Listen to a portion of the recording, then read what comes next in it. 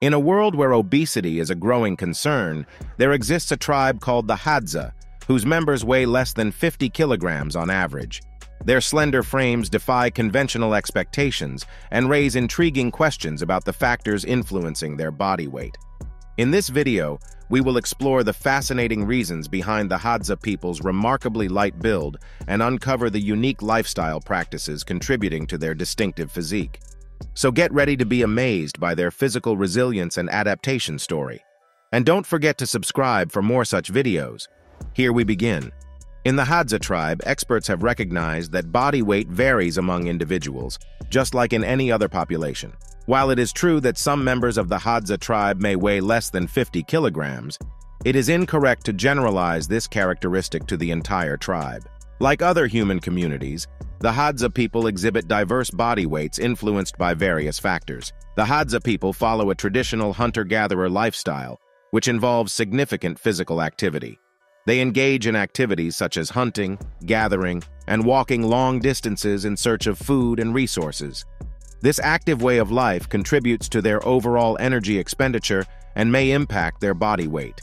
So, when the Hadza go out on hunting expeditions, they may cover long distances, endure challenging terrains, and engage in prolonged periods of physical activity.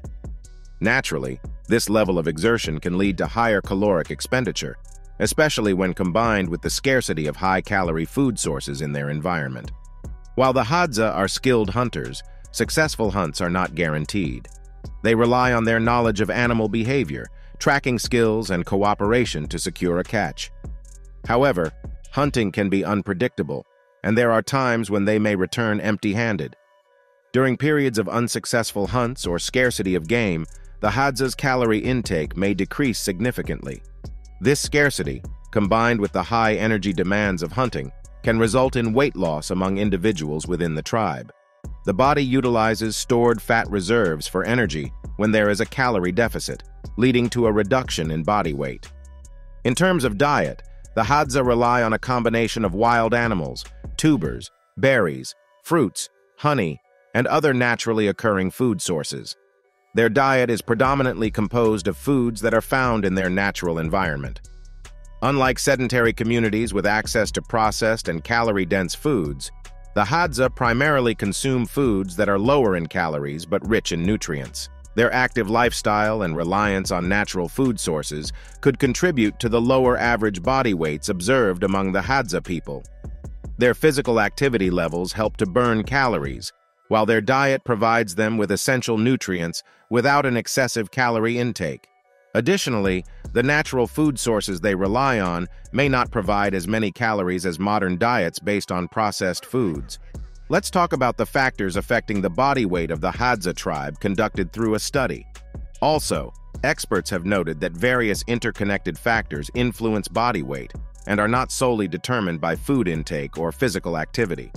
Factors such as genetics, metabolism, overall health, and individual variations play significant roles in determining a person's body weight. Therefore, it would be incorrect to assume that all members of the Hadza tribe have a body weight below 50 kilograms.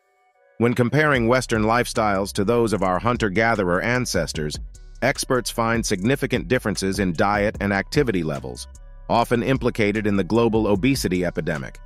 However, no physiological data for hunter-gatherer populations supports these theories.